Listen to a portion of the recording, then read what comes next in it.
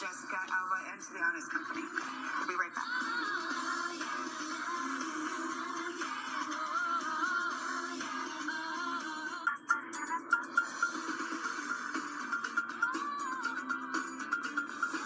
What a way to kick off our 16th season. I really think it's going to be a sweet 16. Fingers crossed, we're very hopeful. It was wonderful to share time with Jessica Alba uh, honor someone like Shirley. Um, she's one of many 2020 wonders we're going to be sharing uh, their work and their stories with you.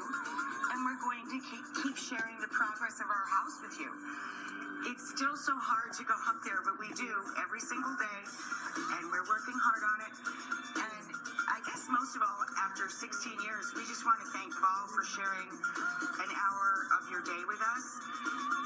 keeping us here this long. I mean, you're the boss of us, so uh, we love being a part of your community. And as I've said for a lot of years now, we'll see it when we see it.